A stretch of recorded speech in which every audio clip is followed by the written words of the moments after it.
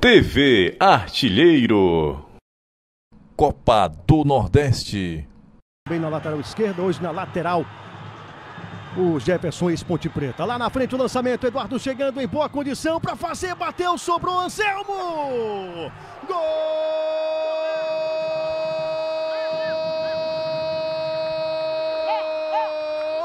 Do Fortaleza! Anselmo! Eduardo apareceu livre pela esquerda, tocou na saída do goleiro que rebateu no pé do Anselmo.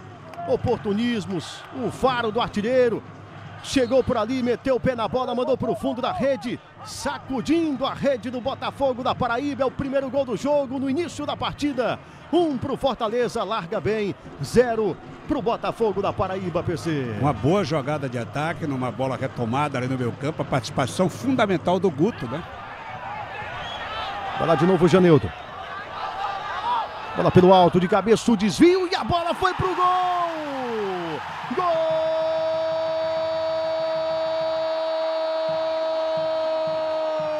Do Botafogo da Paraíba!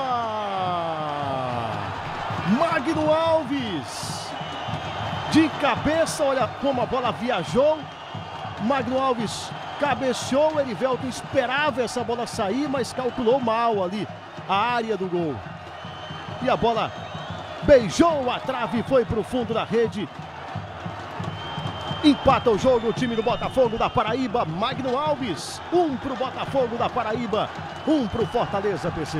Mais uma vez a bola aérea, né? Dessa vez em bola parada, né? O Max Oliveira não conseguiu. Marcação do Leonardo Luiz. Vai buscando espaço, tocou de lado.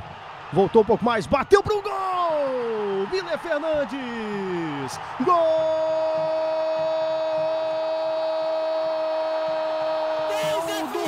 do Botafogo da Paraíba! Miller Fernandes, camisa número 9. Para o torcedor vibrar, para o torcedor festejar, o torcedor do Belo, de fora da grande área, um chutão, ainda deu um, aquele kick que acaba atrapalhando a vida do goleiro. Tentou pegar a bola o Erivelto, mas não alcançou. A bola foi para o fundo da rede.